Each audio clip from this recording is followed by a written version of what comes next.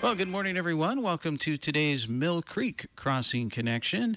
Joining me in studio, we have Dwight Whelan. And uh, Dwight, always the conversation off the air before we get started on the air is more interesting, I think, for the listener. And uh, we were kind of having a discussion about Caitlin Clark and uh, just the incredible season she's having for the Hawkeyes. Yep, it's, it's worth watching to see a little gal that's that dedicated to her sport. I saw where the Iowa Maryland game was the most watched sporting event on Fox Sports in history. Wow. For, for a women's basketball game. Yeah. Breaks the record of anything else. So that's just amazing to me. Well, she's brought she's brought a lot of attention to the Iowa team. That is for sure. That is for sure. Well, uh, Mill Creek Crossing Connection, of course, uh, you come in every Wednesday to talk about the development out there, uh, available housing options, and um, if you're a regular listener to the show, you you know have heard all about the various uh, age-in-place designs we've talked about, uh, financing options, but there may be some people joining us for the first time and aren't familiar with some of that stuff, so it doesn't hurt to go over it and bring it up again. So, um, right now there is a model home available for people to come and check out. Yes, it's uh, the model home is open Tuesday, Tuesday through Saturday uh, from 11 to 1. And coming up this next Saturday, I believe, isn't it, Paul? We, Oh, we have our op- open house with some refreshments. Yeah, that's this Saturday. Yeah. Yeah. So the 10th, it's always the second Tuesday of the month. Second, second Saturday. or Tuesday. Snap. Uh, second Saturday of the month, and so Mary will be there and have some refreshments. You bet, you bet. And uh, but it is open uh, during the week, Tuesday through Saturday, and uh, it's quite different than what what we were showing a year and a half ago. Uh, I think back then still had the breakfast bar and things like that, which has disappeared now. Uh, ins- instead of that, there, there is an island, and the breakfast bar is on the backside of the island. So that that has changed the looks of the kitchen area considerably. Uh, also, the, there's a pantry in the kitchen, which is a great idea. Uh, quite different from the old style. And so, if, if you haven't seen the new style, uh, drop by and uh, let Mary show it to you. And uh, I think you'll be you'll be surprised at how much more open space there is in the new style. Uh, tray ceilings are the norm in the open big room. Uh, if a person wants a tray in the master bedroom, that can be arranged too. Uh, but if, if you haven't, uh, it'd be a good time to meet with Dan and sit down and tell him what you want, and he can tell you what he'll build it for. And the price that Dan quotes after that meeting is the price it'll be on closing date unless you decide to buy some change orders, you want to change something in the house. That you know that alone is a pretty big incentive as far as I'm concerned because you know we just went through a period where the price of wood and all the materials skyrocketed You bet. and if you got quoted a certain price and then all those prices went way up he doesn't then turn around and throw that onto you he he bites the bullet on that doesn't he That's right. He, uh, So- the price he quotes is the price it'll be.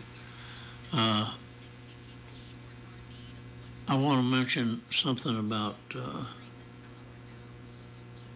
the reverse mortgage. oh too. sure Of course, you, you, you can go to the bank, credit union, or wherever you want to go, and uh, they'll finance it for you probably. But uh, there's something we haven't been mentioning about the reverse mortgage. and it just came into play out there. Uh, you, know, when when you check into a care facility, uh, they want a, a financial statement. Right.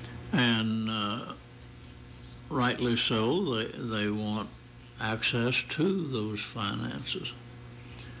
But if you have a reverse mortgage, if I have a reverse mortgage, if I would go into a care facility, uh, they can't touch the house because it is covered, the reverse mortgage covers the house's worth. And so as the house appreciates in value, uh, so does the coverage of the reverse mortgage. So that's something that we haven't talked about, but it's something that maybe some people uh, would be interested in. Uh, Someone has quite a bit of assets and they want to protect it for the kids. But we don't know. Uh, tomorrow I may be in a care facility. we don't. We don't know. Right. But anyway, it, it protects that value. And uh, for more information on that, we would re- refer you to a professional that represents United of Omaha. And uh, he could go into all the details, even you can pay more than the house than, than you're supposed to. And it's just like a bank account. They'll pay you interest on that money. And uh, i i- it's really something worth thinking about. Right. But there again, that doesn't affect the sale of the house at all because all Dan does is refers you to this professional that does the reverse mortgages. We, we know just about enough to get in trouble by telling you. but this fellow can tell you all of the ins and outs and how how those things work and and it's really designed for people to uh, take advantage of, and and uh, I mean that sincerely. Uh, there's so many new perks in it that weren't there when I got my reverse mortgage.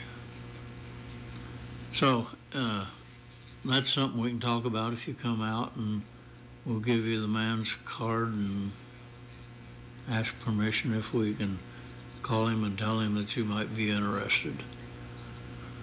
But back to the houses, you know, we've always said they're built to grow old in, and we've done that. Uh, 36 inch doors. Right now, Shirley's using a walker. She doesn't have any trouble at all navigating the doors. Uh, door handles instead of door knobs which are much easier for us when we're getting arthritis in the hands. Uh, the large buttons for the light fixtures, uh, well insulated. Uh, our light bill and gas bill was higher in January. I wonder if anybody wonders why. but uh, we were certainly warm. Uh, we didn't have the curtains flying in our face and things like that. Uh, Pella or Andersen windows. Uh, just a lot of features that we can't remember to talk about. We don't have time enough to talk about all the features. So that's why there's open houses. Right. Come out and take a look, ask the questions. Uh, Mary's a great hostess. She she knows a lot about the house. Of course, she lives in one too, and we feel that that's an advantage, and, and Dan does too. The, the, the two people that represent him here in Clinton both live in his houses. So drop by. Uh, I don't know what Mary will have Saturday, but you can bet she'll have something nice. Well, do, does some of the residents that live out there, do they drop by sometimes if she's got some refreshments just to hang out? Because I know I went one time and some of the residents were all there just to chit chat because they've all become kind of a friendly community and everybody knows each other and likes to visit. That's true. Uh, and, and what better people to have sitting around the table. Having a sandwich or something like that and talking to the prospects that are coming in.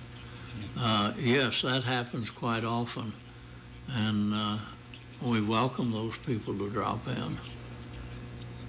I, I go over on Saturdays. Uh,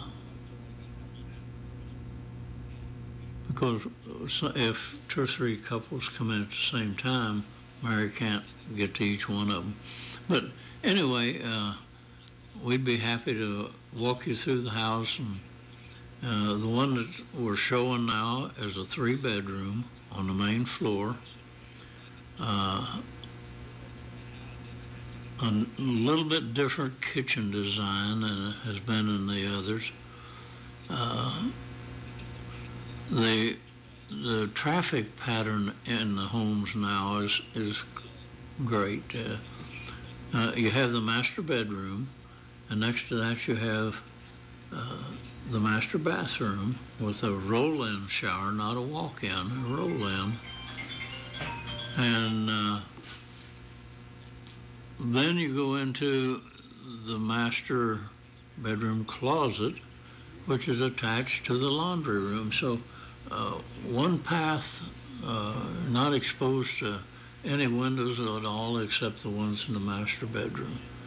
Uh, it's a nice design and and uh, very convenient too.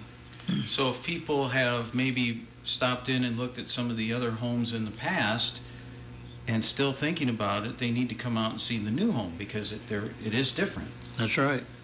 It uh, there's quite a few changes. If if they haven't been there for two or three years, there's a lot of changes. They won't know that they're walking into the the same home. Uh, I had a had a visitor uh, not long ago came in and uh, they first looked three or four years ago, Okay. but they were going to build in another town because that's where their children were. And they came back and were looking, and you could tell by their questions and comments about the new design that they had an interest. Oh, And I said, Well, I thought you were going to build in this other town where your kids are. He said, I watched construction in that town, and, and compared to this construction, it was the most shoddy construction I'd ever witnessed in new homes. Wow. And so they haven't bought yet, but they came back after three or four years absence. And uh, they live over in Illinois now and thinking about moving to Clinton. Because they're here every day for something, he said. So, anyway, uh, it, it is a, a, a good good feeling when people tell you I've watched the construction in this other town and it can't compare to this. Definitely, definitely.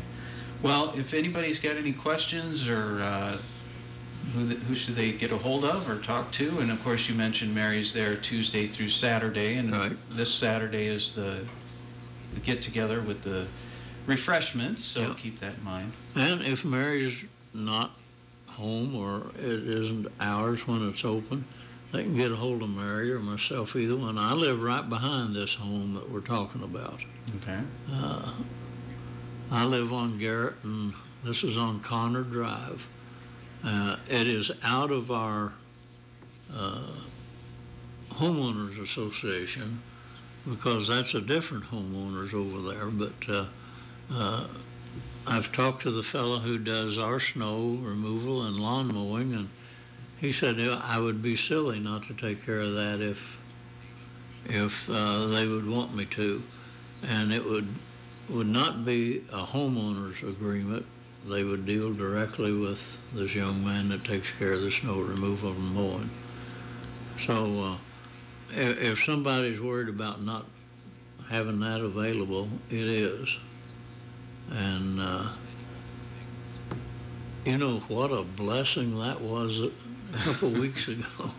We had piles of snow out there. I, I thought it would be there until April. And uh, the Lord has a way of giving, and He took some away. He, our, our snow was just about all melted. Yeah. But uh, I didn't worry about it. I was sat in the house, and when I heard his snowblower going or his truck dra- back dragging the snow, I look out the window and watch him for a while. Yeah, that's something, you know, to, after years and years and years of snow shoveling and snow blowing, to be able to just kick back and watch someone else do it, Yeah. that's probably pretty good, isn't it? And, and I get these silly notions. I tell Shirley, you know, I wished I had a snowblower again. She said, no, you don't. All right. Well, with that, I think we're going to wrap things up on today's Mill Creek Crossing. So, again, we thank Dwight Whelan for being our guest here today. And again, Mill Creek Crossing Connection, heard Wednesday mornings on KROS, brought to you by Dan Dolan and Dan Dolan Homes.